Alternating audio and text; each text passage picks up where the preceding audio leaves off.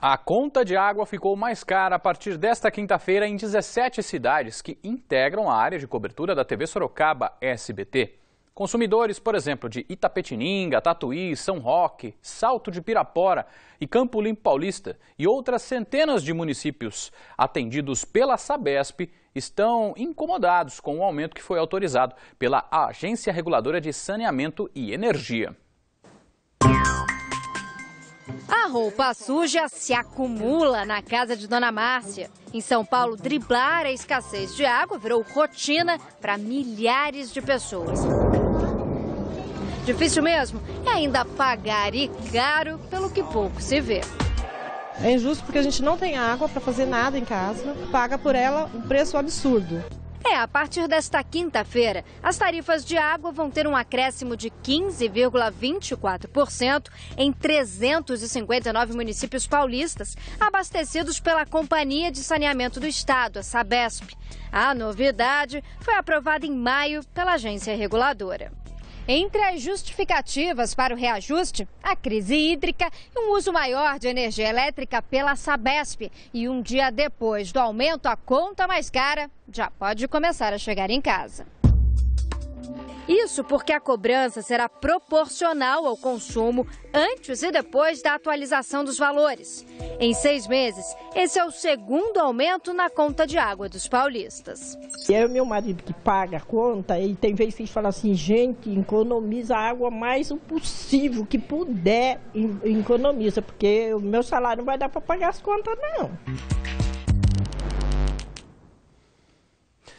Hora de falar do tempo. A sexta-feira é de tempo nublado, com aberturas de sol durante o dia na região. E durante o fim de semana, a previsão de tempo, do tempo também é para essa temperatura, esse clima, né? Sorocaba registra a mínima de 13 e a máxima não, de, não deve passar aí dos 25 graus. Confira como fica as temperaturas em outras cidades.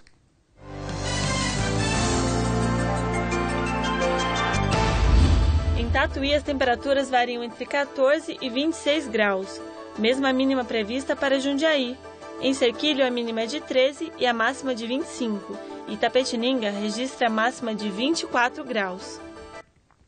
A imagem peregrina de Nossa Senhora Aparecida está em Itapetininga. Fiéis podem visitá-la até o dia 15 de junho, quando termina a passagem pelas cidades da região.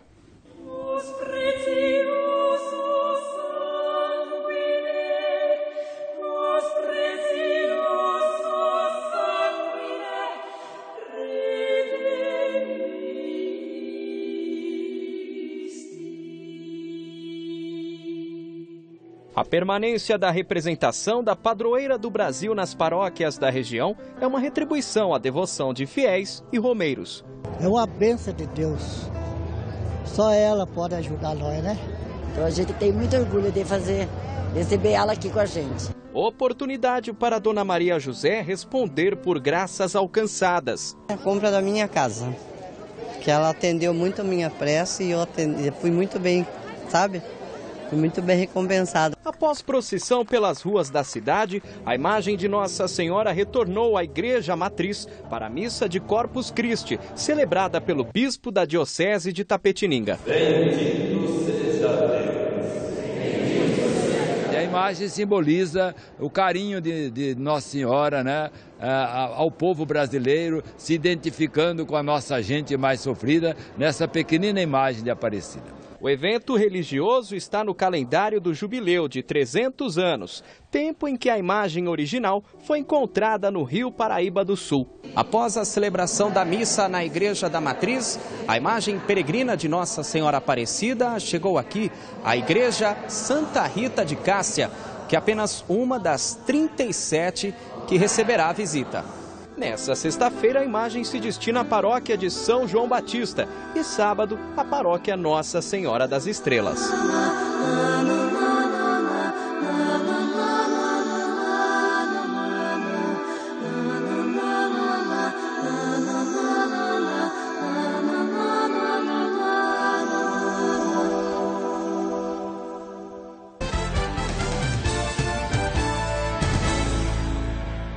Olha só, sexta-feira, dia 5 de junho, é comemorado o Dia Mundial do Meio Ambiente.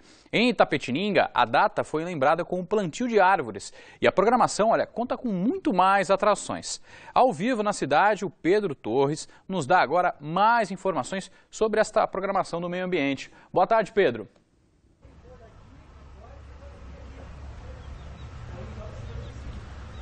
Boa tarde, Fernando, e boa tarde a todos que acompanham o Manchetes Noticidade. Existem vários motivos para a gente comemorar esse Dia, Dia Mundial do Meio Ambiente. Um deles é a diminuição do desmatamento da Mata Atlântica, o aumento do consumo de produtos orgânicos e um outro bom exemplo foi dado aqui em Itapetininga, que é a preservação da mata ciliar, Fernando, que são aquelas vegetações que ficam às margens dos rios, dos ribeirões, nesse caso aqui o Ribeirão dos Cavalos. Eu estou ao lado do Fernando Rosa, ambientalista engajado na área, organizador dessa ação. Fernando, boa tarde. Por que é importante preservar a mata ciliar? Boa tarde. Importante porque nós vamos estar protegendo o maior recurso mais importante que nós temos, que é a água.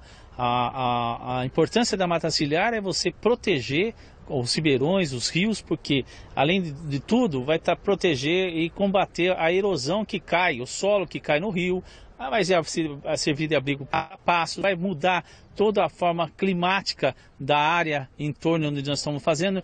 Enfim, em suma, a mata ciliar é como se fosse nossos cílios. Ela protege todo o corpo d'água, todos os recursos hídricos de qualquer interferência humana ou não. Vamos falar sobre essa ação que aconteceu aqui hoje. Inclusive, nós temos imagem do que aconteceu hoje pela manhã nessa área. Quem são esses anjos que plantaram as mudas aqui nesse espaço, Fernando?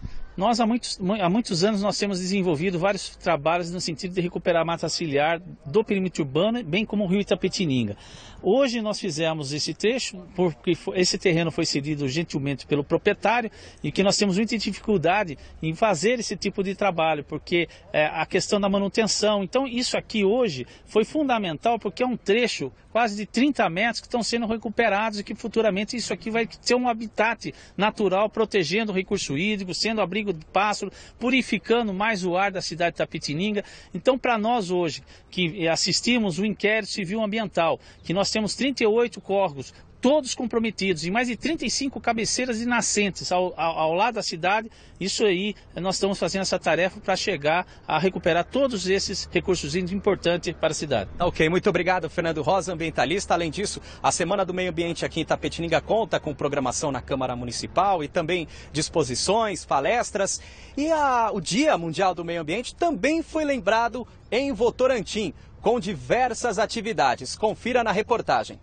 200 mudas de árvores nativas foram plantadas por dois grupos de escoteiros da cidade. Então a gente segue nessa linha, procurando passar para as crianças esse cuidado com a natureza, né? Essa vivência, essa, esse interesse de manter o nosso mundo vivo. Então a gente fez um projeto de lei alterando a data da Semana do Meio Ambiente, trazendo para a data atual, onde é comemorado em todo o Brasil. A ação foi no novo Parque Ecológico batizado de Coatis, que ainda deve ser inaugurado. Isso, como é? Das Aves. O Parque das Aves. A gente faz essa mobilização ambiental junto à comunidade, ao grupo, aos grupos de escoteiro. Também essa, essa área a ser recuperada, ela auxilia também para que essas nascentes, que são três nascentes aqui dentro da área, elas continuem produzindo água, mesmo nessa, nessa época de estiagem que passou no passado, elas continuaram produzindo grande quantidade de água. Essa é a importância da vegetação nessas áreas ciliares. Aqui, no novo Parque Ecológico de Votorantim, terá ecoponto e pista de caminhada. Até o final do ano, a Prefeitura tem a previsão de construir mais três locais para o descarte de resíduos. Já houve a concorrência pública, está sendo definidas as empresas que vão construí-los, os quatro primeiros ecopontos, e esse material já vai ser recolhido de um processo seletivo e posteriormente transferido para o aterro de inerte. Uma forma de conscientizar aqueles que são o futuro da nação. Vai ter bastante animais, bastante flora, fauna, e vai ser bom para o planeta. Tá certo, é isso mesmo. Sustentabilidade, conscientização é sempre importante esta preocupação com o meio ambiente, principalmente quando ela vem das crianças, os futuros adultos.